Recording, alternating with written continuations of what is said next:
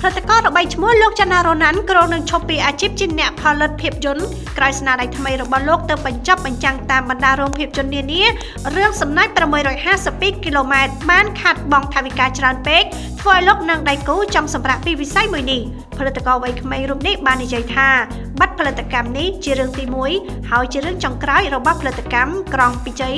ដោយបងប្រុសដែលជាចង់វាងគាត់សម្រេចចិត្តមិនចង់រកស៊ីជាមួយវិស័យផលិតភាពយន្តខ្មែរបន្តទៀតទេ ការបញ្ជាក់បែបនេះក៏ព្រោះតែភាពយន្តមួយនេះផលិតអស់120,000ដុល្លារកាលពីចុងឆ្នាំ2019ហើយក៏មានបញ្ហាផ្ទុះ COVID-19 រហូតដល់ឆ្នាំ2023ទើបបានចាក់បញ្ចាំងការចាក់បញ្ចាំងរឿងក្នុងសម័យក្រោយ COVID ចំណូលដែលរកបានមកវិញជាង80,000ដុល្លារបន្ទាប់ពីកាត់ជូនរដ្ឋនិងចែកពាក់កណ្ដាលជាមួយរោងកុនខាងផលិតកម្មទទួលបានប្រាក់ជាង40,000ដុល្លារខាត់80,000ដុល្លារដោយសារតែរោគចំណូលមិនអាចរកថ្លៃដើមនៃការផលិតបានបែបនេះធ្វើឲ្យច័ន្ទណារ៉ូណាន់ដែលជាអ្នកផលិតនិងដឹកនាំរឿងពុំទាន់មានកម្លាំងចិត្តក្នុងការផលិតភាពយន្តខ្មែរបន្តទៀតទេ ហើយលោកក៏ប្រហែលជាឈប់ផលិតរហូត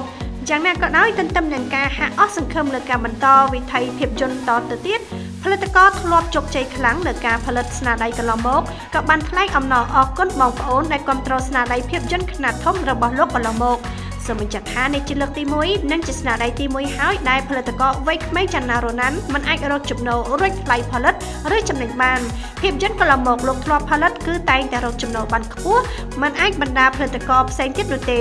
តែយ៉ាងណាស្រាប់តែរឿងសំណោច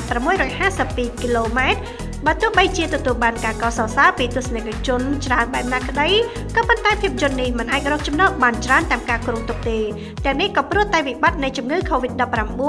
ហើយបើទោះបីជាបច្ចុប្បន្នជំងឺនេះហាក់បានធូរស្រាលសម្រាប់កម្ពុជាហើយក្តីក៏ប៉ុន្តែសម្រាប់អ្នកនិយមចូលចិត្តការទស្សនារឿងនៅតាមរោងភាពយន្តនៅតែមានកម្រិតនៅឡើយ។